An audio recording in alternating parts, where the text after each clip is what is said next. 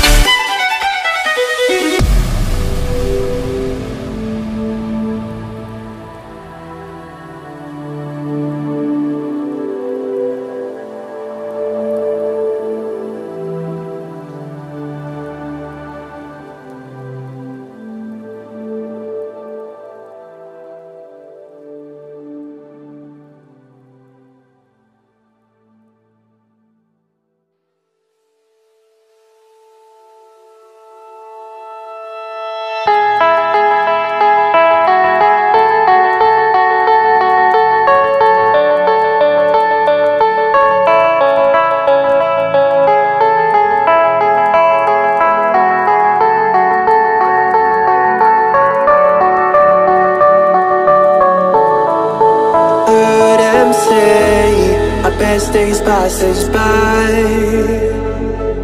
And most long for a place that they never find. I'm afraid I wake up when I die. And it is too late to climb any mountain. Time is of the essence, the blood running through our core. It's best to not feel sorry when it's over.